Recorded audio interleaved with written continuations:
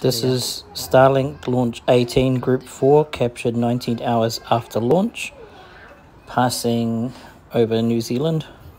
The elevation of the pass was 33 degrees to the northeast.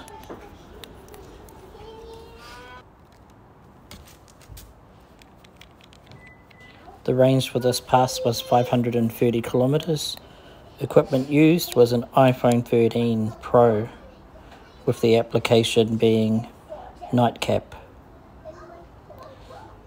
I used a green laser to illuminate the location of the Starlink train, which was probably around magnitude 3. It wasn't all that bright.